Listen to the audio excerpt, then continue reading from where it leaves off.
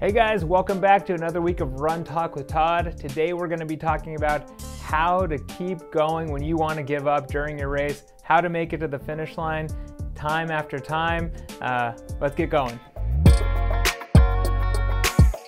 All right, guys, today was day 252 on my run streak.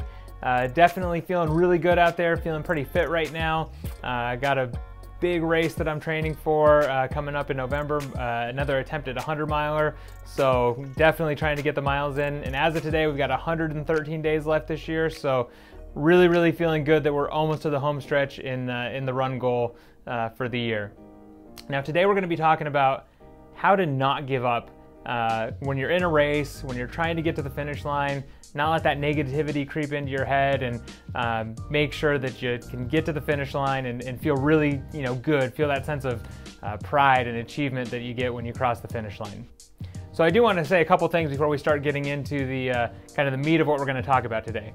Number one, definitely uh, it's okay to drop from a race if you're dealing with an injury. So if you get injured, if you, you know, twist your ankle or something worse out there during a race, don't feel bad about dropping. It is okay to drop if there's something serious that you're dealing with. We don't want anybody, you know, risking further injury because they drop. This is more on the, the mental side. How do you get over those mental blocks to get to the finish line? The second thing is, I've dropped before from races. So yeah, this is not me coming from a place of, you know, I've never dropped, so this is what I've done to never drop. Uh, I've dropped from a marathon before and I've dropped last year from my first attempt at 100 miles. Uh, so these are some of the things that, uh, that I've learned in completing races that I've wanted to maybe drop out of, and then also learn from dropping out of races and thinking back and going, gosh, if I had done this a little bit different, or maybe you know hadn't let these negative thoughts get into my head, uh, you know, I could have made it to the finish line. So that's what we're going to be talking about today. So number one, um, you never hear people say that they regret keep uh, finishing a race or keeping going in a race. So I want to kind of put that out there. You know, whenever I have a, a, really long run or again a race that I'm really struggling through, um, I always have a mantra that kind of plays in my head, which is pain is temporary. It's going to be over at some point. It's going to be over some point soon, most likely. Um, I just need to get through that next 30 minutes or that next hour. Um, and so if you can kind of think that way, that this is all temporary and it is going to end at some point. I feel like for me, that puts me, uh, changes my, the mentality a little bit. And now I can start thinking, okay, I can push through. I can, I can make it because I know this is not a forever pain. This is a, a temporary thing. So kind of using that as my baseline here. Um, ways that I think you can go about, you know, again, so you're, uh, you're struggling a little bit with uh, you know, the negative thoughts creeping in. Oh my gosh, I, you know, I hurt so bad right now. I just want to, you know, be done. You know, maybe this is mile 16 to 20 in a marathon and things are not feeling very good. And you're going, how the heck am I going to make it that next 10 miles? Um, so this is some stuff that's helped me. Number one, set micro goals. And so what I mean by micro goals, rather than chunking that into, okay, I have 10 more miles to go, which at that point can feel like an eternity.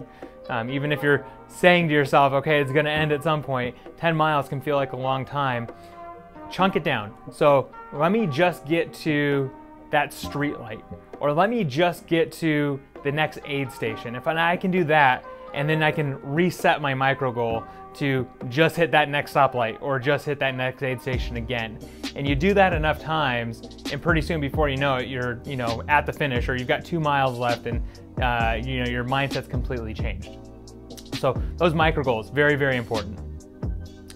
Number two, it's knowing that bad patches in races are very normal, especially the longer you go. So uh, marathons, you may go through a bad patch or two during the race. When I say bad patch, what I mean is you're just not feeling good.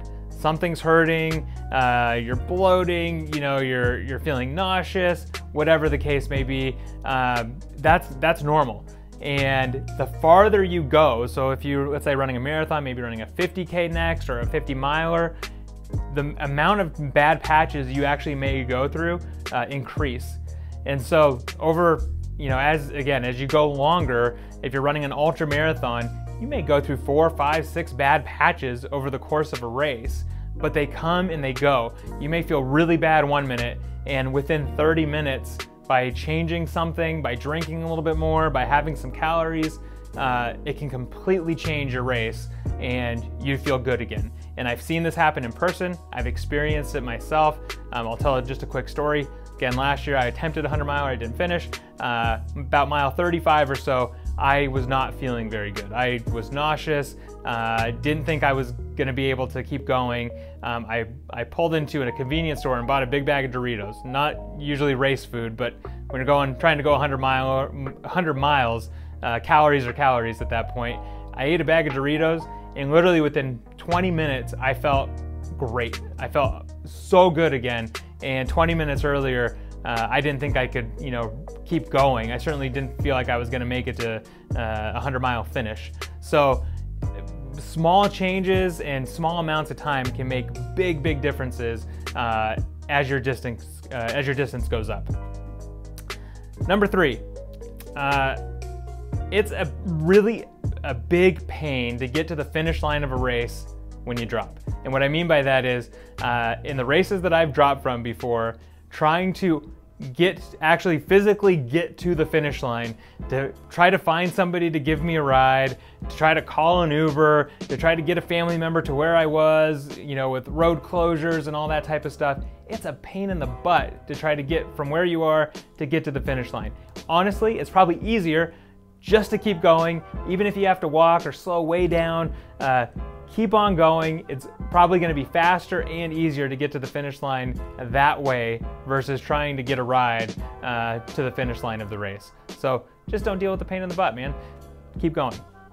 And then the very last thing, um, if you're not going to hit a time goal, so this is a reason I've seen a lot of people drop uh, from races. I have this big A, you know, uh, A goal and maybe a B goal as well, and I'm not gonna hit these goals. You know, I wanted to run a, a 130 half marathon today as my A goal, and my B goal was to run 133. And we're halfway through the race, uh, and you know you're not to hit those goals. Um, and I've seen I've seen people drop for that reason. Well, I'll just save it for another day. For me, I think the the right strategy in that case is, you know what, you're not going to hit your A, you're not going to hit your B turn that race into a, a, a, long training run or just a training run in general and get to the finish line, uh, finish the race, uh, because I think dropping breeds dropping or quitting breeds quitting. I think it's a lot easier to quit a race once you've already quit once. And once you do it a couple times in fairly close uh, proximity, it kind of turns into a, a pattern or a habit. And so even if you know you're not gonna hit your goal on that day, back off the, the pace, uh, back off the goal, turn it, turn it into a training run, and then live to fight another day, you know, then two weeks later, a month later, two months later, uh, where you can go after that goal again. So for me, those are all things that have kind of played into me sticking into races, not giving up. Um, so we'll go over those one more time. One, set small micro goals in those races so that, you know, just get to that next stoplight or just get to that next aid station. Two, understand that bad patches are normal. Um, everyone goes through them to some degree during a, a, race, and the farther the race goes, the more bad patches are, are likely and the more you may deal with during an event. Three, it's a pain in the butt to get back to the finish line, so just keep going. Uh, and four, if you're not gonna hit your time goal, it's okay to abandon ship on the time goal and, uh, and just treat it as a training run. Think of those things, do those things, you're gonna get to your next finish line, and I'm gonna see you out there at the next race that you're at. Have a good one. We'll see you on the road.